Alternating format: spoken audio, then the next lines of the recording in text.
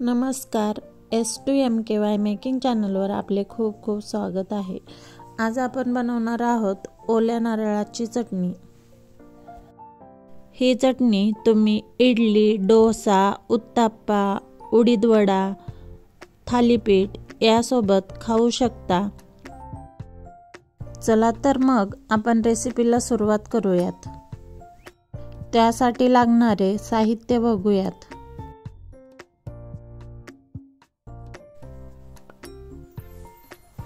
ओला नारळ कोथिंबीर एक इंच अद्रकचा तुकडा पाच सहा लसूण पाकळ्या पाच सहा हिरवी मिरची कढीपत्त्याची पाने अर्ध लिंबू मीठ जिरं आणि मोहरी. यातील मोहरी आणि थोडा कढीपत्ता आपण तडक्यासाठी वापरणार आहोत. बाकी सर्व आपण मिक्सरला बारीक वाटून घेऊ. ओला नारळ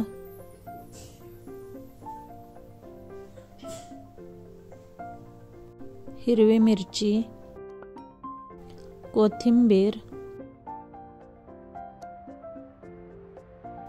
लसूणच्या पाकळ्या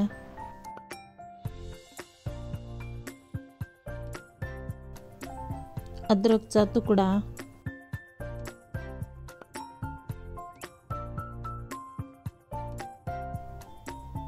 चार पाच कढीपत्त्याची पाने. जिरं.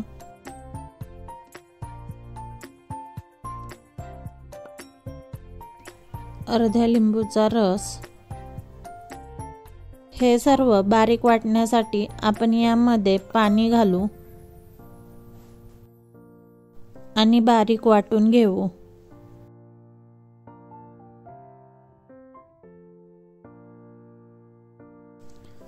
मीठ घालायचं राहिलं होतं त्यामुळे मी आता यामध्ये मीठ घालत आहे आणि पुन्हा एकदा मीठ मिक्स होण्यासाठी याला मिक्सरमध्ये फिरवून घेणार आहे.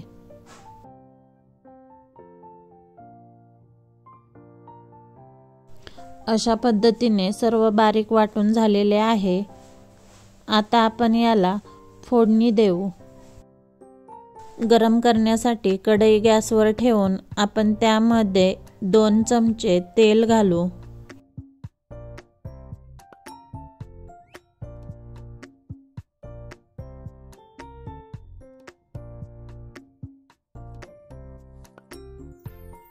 तेल गरम झाल्यानंतर आपण त्यामध्ये एक चमचा मोहरी घालू.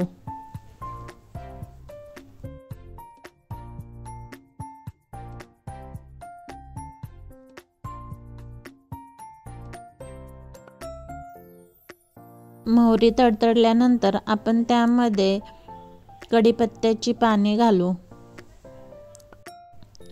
चांगल्या प्रकारे फोडणी तयार झाल्यानंतर आपण यामध्ये वाटलेले वाटण घालू.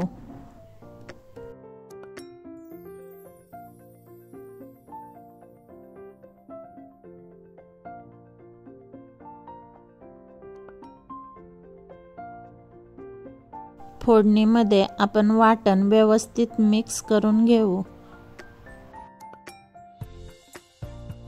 व्यवस्थित मिक्स करून झाल्यानंतर आपण गॅस बंद करूयात कारण आपल्याला ही चटणी शिजून घ्यायची नाही.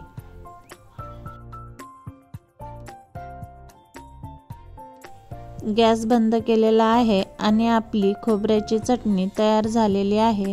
ही चटणी खायला अतिशय टेस्टी लागते. तुम्ही सुद्धा अशी चटणी नक्की ट्राय करा आणि माझ्या व्हिडिओला लाईक करा जास्तीत जास्त शेअर करा आणि अशा साध्या सोप्या नवनवीन रेसिपी पाहण्यासाठी चॅनलला सबस्क्राईब करा. धन्यवाद.